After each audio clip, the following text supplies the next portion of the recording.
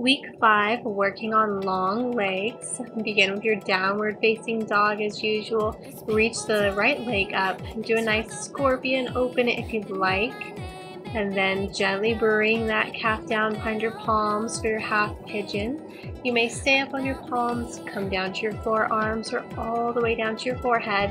Whatever feels good for you here. And just go ahead and relax wherever you are. Just ease into the pose and just breathe softly here. You're not going anywhere for a while. I'll let you know when you can come out of it. Don't try and look up at your screen and just relax and be right now.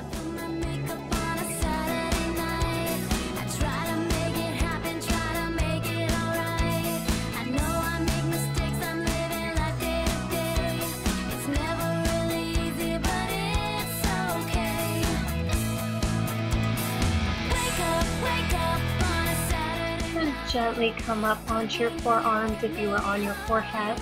If you're already on your forearms, just remain there for a moment. And then everyone come back to your palms, stretching up. If it feels good to twist your left side, maybe place your palm on your thigh or bend that leg up and grab hold of your foot. If it hurts your knee or if it hurts your back or anything like that, just pull out of it and just hold yourself in a you know, upward pigeon for a moment and then gently release the foot if you grabbed a hold of it, twist back around the center, reach that left, excuse me, the right leg up into the air, and then switch sides, the left leg comes into your scorpion, twist open if it feels nice, and then go ahead and place that calf down, and then placing your palms, forearms, or forehead down, whatever felt good. And again, just breathe and relax here on this side.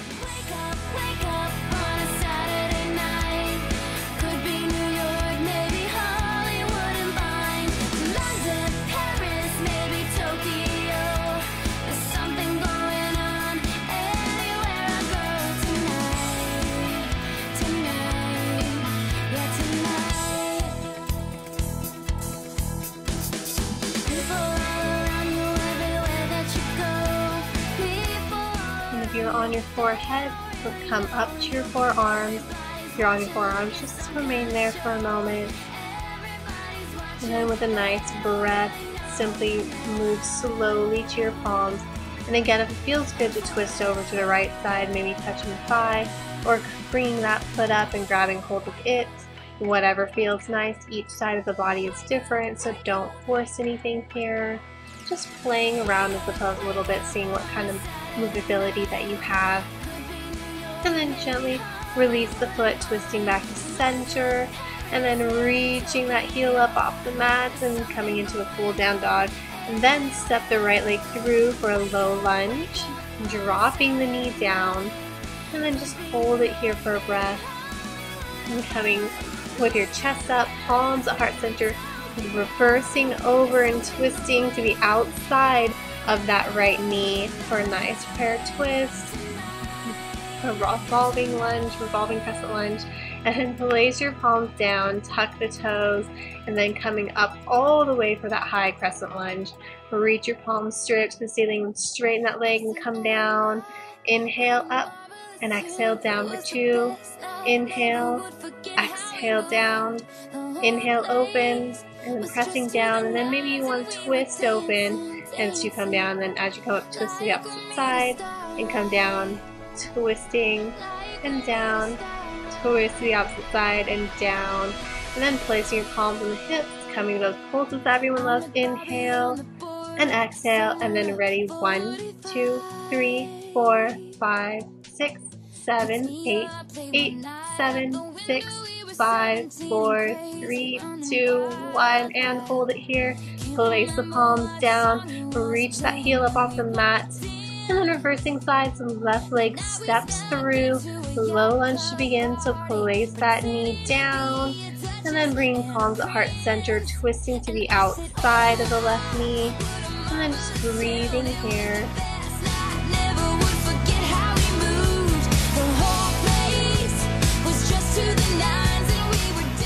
Twisting back, center both palms on the mat, tuck your back toes, draw the hips up, and lift all the way up to that high lunge. And then stretch, and then come down, lengthen up, pressing back down, lengthen tall, come down, lengthen all the way, and down. And maybe you want to open to the left, and come down, open to the right, and come down, open to the left, and down, open to the right, and back down. Go ahead and place the palms down, inhale, and exhale, and pulse one, two, three, four, five, six, seven, eight, eight, seven, six, five, four, three, two, one. Place the palms on the mat, reach that left heel all the way up, and coming to your nice downward facing dog, stretch everything out here for a moment. And then keep holding your down dog. I'm just twisting around, but you keep where you are. And then step both feet to the top of the mat. And coming to a nice forward fold. You can have your feet hips width apart or touching, whatever feels good. Come up halfway, reach all the way up to mountain and sink down into your chair. If you have your feet touching, the big toes touch and then your knees come together. And then as you're in your chair pose, come up off of your heels as high as you can go, but don't force anything. It might feel like you're doing like a bit of PB dance or something, but keep going with it. And then stretch all the way tall.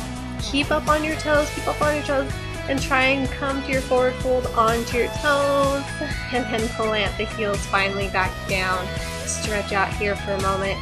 Come up halfway, palms together, nice standing attention. Getting rooted in our right leg, reach the left leg up, getting ready for dancer's pose, cup the inside of your left foot. And then reach the right arm up, maybe you stay here, maybe you start to fold forward and kick that leg back. If you wobble, that's okay, just try and keep your gaze on something steady in front of you and focus on kicking that left leg far away from you. That will give you more foundation and stabilization throughout this graceful pose. And just focus on your breath, focus on quieting the mind here, and then go ahead and place both feet back together, ground your weight into the left foot, and draw the right foot up, doing the same thing on the opposite side, stretching and reaching that right leg back, open yourself up as far as you want to go into this pose. Keep your gaze on something in front of you, non-moving preferably. And then just simply breathe. Is this the way you love me? You're capturing my heart. I used to try and slowly come back out of it, both feet down, palms of heart center as you come to a forward fold. Halfway lift here. And palms on the mat. Try and sit all the way back down. Trying a half lotus here. You bring the right foot up into your left hip. And just feel the outside of your right thigh and hip stretching. And just breathe here. Just sit with the pose for a moment. Feel the stretch happening for you.